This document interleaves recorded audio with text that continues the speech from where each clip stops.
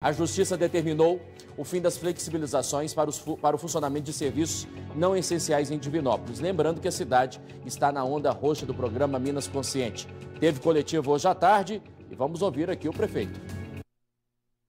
O prefeito Gleidson Azevedo iniciou a coletiva de imprensa lamentando a decisão judicial. Ao anunciar as mudanças, ele disse que discorda do protocolo imposto ao município. É lamentável que o Estado, o governador Zema, está fazendo com Divinópolis. Não só o Estado, o, o, governo, mas sim a oposição que vem denunciando a prefeitura, que não deixa a prefeitura poder trabalhar, quer dizer, o comerciante poder trabalhar, porque a partir do momento que a gente é notificado no Ministério Público, é, igual na, na, justiça agora, quem está perdendo é o município, não, é o comerciante. A prefeitura também informou que analisa alternativas para recorrer da decisão. Existe um prazo que iniciou-se na segunda-feira de 72 horas, que termina então amanhã, para manifestação no, na própria ação. E com a decisão de hoje, abre-se um novo prazo para eventual recurso perante o Tribunal de Justiça. Então, as duas coisas vão ser avaliadas: elaborada a manifestação, a defesa do município perante o juízo de Divinópolis e analisar também a possibilidade ou não de, de, de recorrer da decisão. Na semana passada, o município anunciou flexibilizações no decreto da Onda Roxa, autorizando o funcionamento de atividades consideradas não essenciais, como academias e salões de beleza.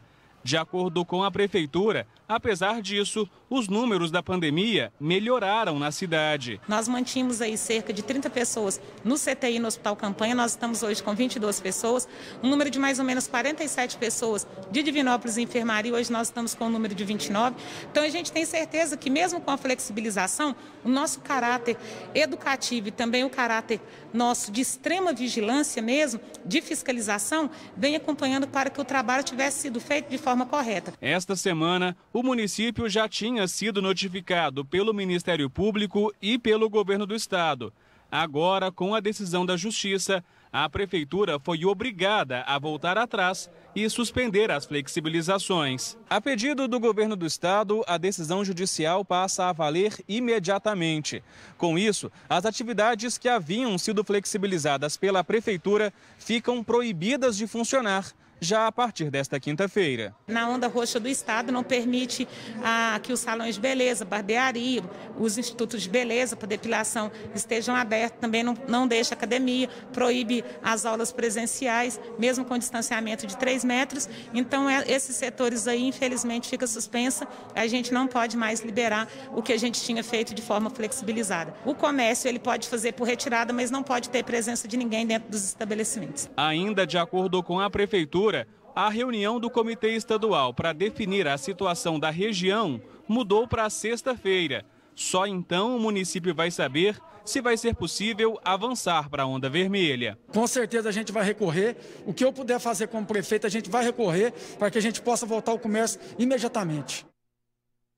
Bom, vamos aguardar sexta-feira então reunião do Comitê Estadual de Enfrentamento. Vamos ver qual vai ser a classificação do município. Essa reunião vai ser na sexta-feira de manhã.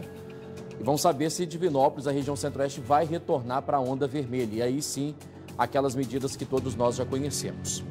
Bom, eu imediatamente, quando a gente recebeu a informação aqui a respeito da, do, da decisão da Justiça, já questionamos o governo do Estado e o hospital regional para montar os leitos. E aí você tem como atender a população caso os casos vão aumentando. Até agora não chegou resposta, não. É a burocracia, é a lentidão, né? Tem que ter leito. Se não aumentar leito, como é que vai ficar? O, o comerciante vai pagar o preço? Um preço alto? Não dá, gente. Já estamos chegando no limite. Cadê os auxílios? Cadê os benefícios que tiveram no ano passado, no início da pandemia? Esse ano já não tem por parte do governo federal.